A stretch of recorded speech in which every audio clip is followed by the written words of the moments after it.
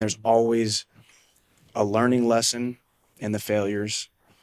There's always a blessing in the setback. And um, there's so much freedom that comes with that.